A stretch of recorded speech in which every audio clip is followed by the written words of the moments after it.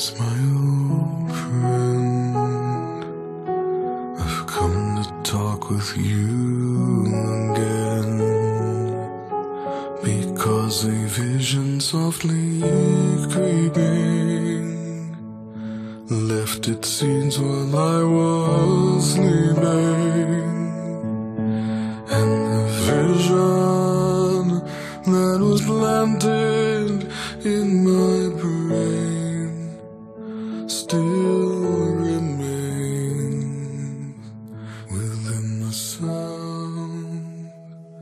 Of silence. In restless dreams, I walked alone, narrow streets of cobblestone.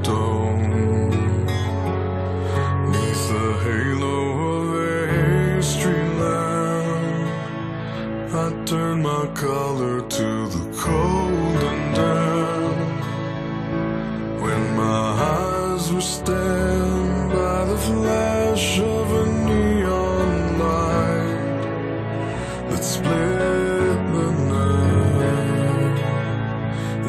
touched the sound of silence.